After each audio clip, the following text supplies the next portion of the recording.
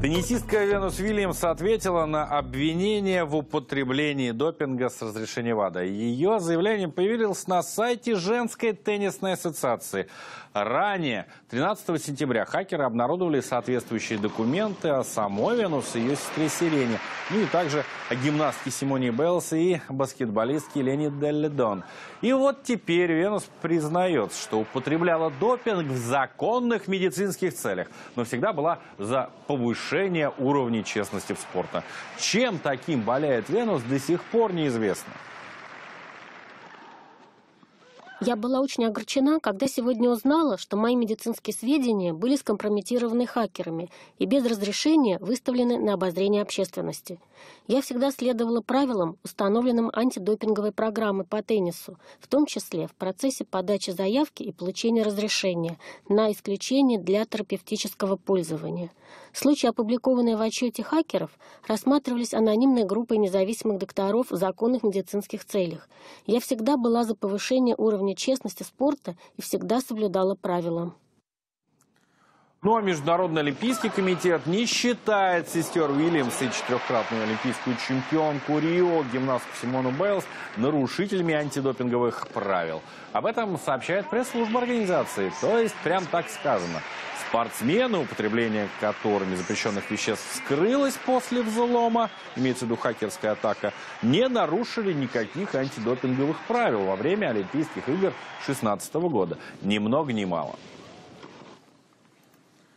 Напомню, в хакерских документах, которые потом признали подлинными, указывается, что ВАДА выдала разрешение на прием запрещенных веществ сестрам Уильямс, гимнастке Бейлс и баскетболистке Лене Деллидон.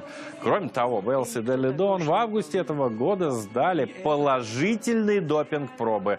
Однако при этом не были ни дисквалифицированы, ни наказаны каким-либо другим образом. И вообще даже получили золотые олимпийские медали на играх в Рио. Американское антидопинговое агентство осудило хакерскую атаку на ВАДА. В заявлении этой организации говорится, что подобное запугивание невинных спортсменов – это трусливо и подло. Между тем, согласно документам, Сирена Уильямс в 2010, 2014 и 2015 годах принимала сейчас, послушайте только внимательно, оксикодон, гидроморфон, преднизон, преднизолон и метилпреднизолон. Страшно даже читать, если честно. Все эти вещества являются запрещенными, но ВАДА якобы разрешила теннисистке использовать их в терапевтических целях.